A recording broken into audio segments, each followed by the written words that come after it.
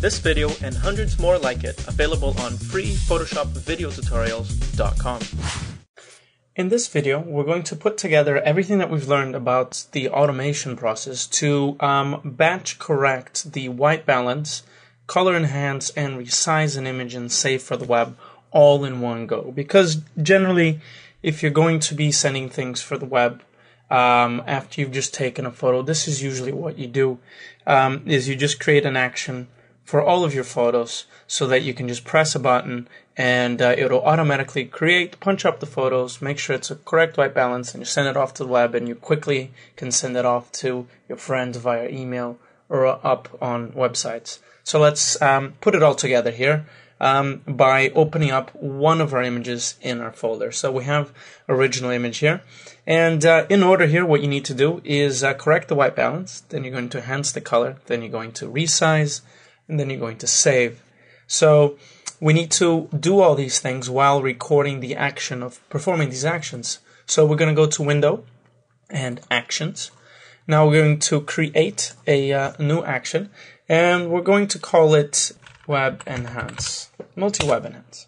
So now that we have that set, we need to um, correct the white balance. That's the first thing. So we're going to go to Image, Adjustments, and Variations, and we're just going to uh, correct here, offset the uh, the image, which is uh, to green actually.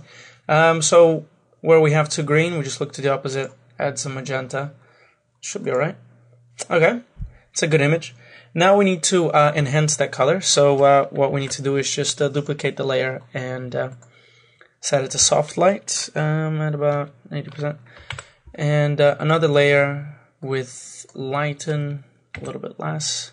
Okay, now we need to flatten that image. And now we're going to uh, resize the image here uh, with, again, my preferred 800 pixels uh, will do the job here.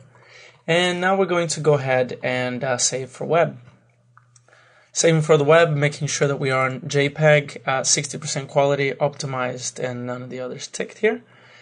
Go ahead and click on save, and we're going to create a new folder here and put in uh, ready for the web. Okay. Go ahead and click on save, and there we are. So we've uh, we've performed all the actions. We can go back here to the action and stop recording. This is vital that you remember to stop recording. Okay. So we have all of the actions over multi-web enhance. So we've done all that stuff. Okay. Now, uh, again, if you don't want to be interrupted um, by the process of uh, this image here eventually being asked if you're going, if you want to rewrite it, just uh, go into the folder that was created and uh, delete it. Just delete that new image there.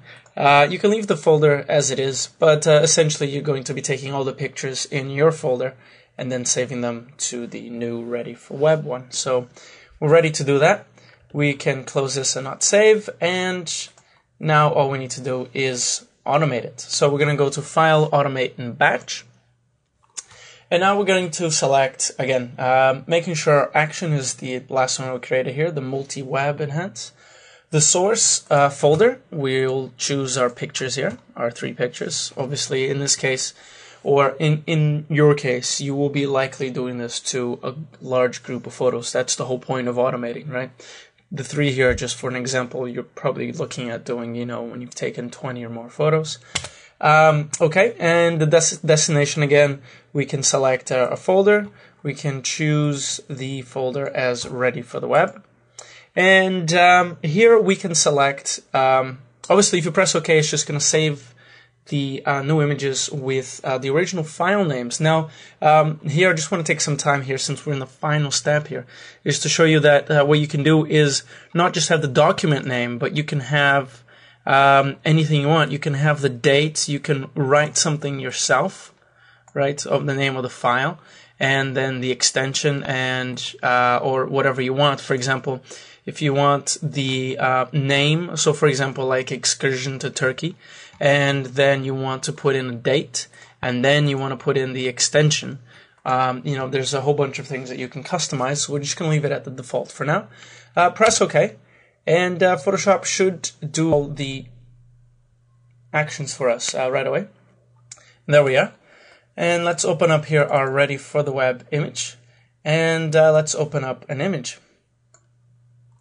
Okay, now we can see that the image size to this is 800, so it's been resized.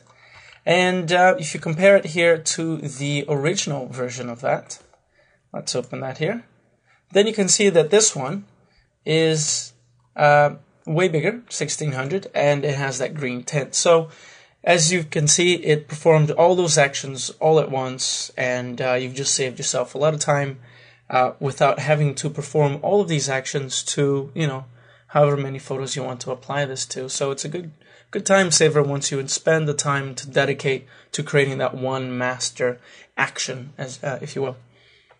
If you enjoyed this video, show your support by subscribing, rating, and adding it to favorites.